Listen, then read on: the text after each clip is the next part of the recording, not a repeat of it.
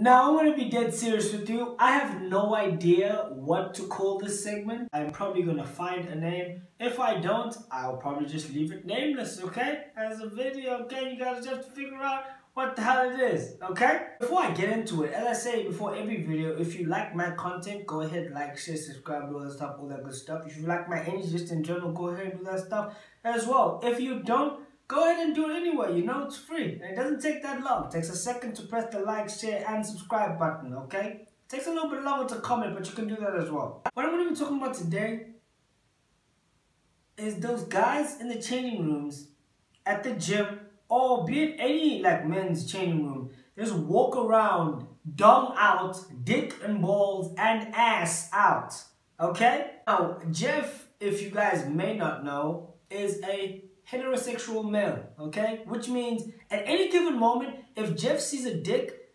uncomfortable immediately, okay? Actually to the point where if I see a dick at any point in the day, I'm going to have a bad day. If I see a dick at 8 o'clock in the morning, that day, horrible day already. If I see one at 7 o'clock at night, whatever happened during the day, doesn't matter. That, that day sucks now, okay? If at any moment you can just walk around like a group of men, dick, balls, and ass out, I believe there's something you need to be telling your mates and your family, okay? Yo, I've seen guys at the gym, in the changing rooms, like, have full-on conversations, walking out of the shower, dick, balls, and ass out, having a conversation with another man, okay?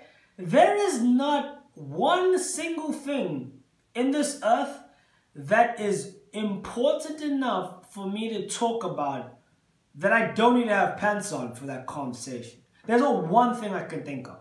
Every single conversation that I need to have is not important enough for me to not have any pants on.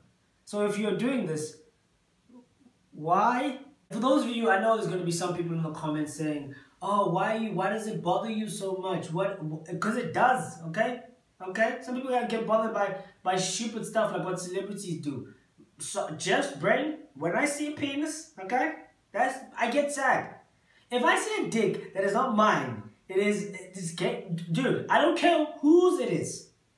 I get sad immediately. If that makes me homophobic, then god damn it, think what you gotta think. But me personally, I'm not saying I hate people who got, but I don't like to see the penises. Well, that brings the end of this week's video. If you like the video, go ahead, like, share, subscribe, all that stuff, all that good stuff. If you like this type of content, you can go ahead and do the stuff I said before.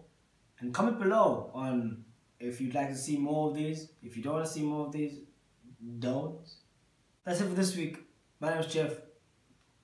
I'm out.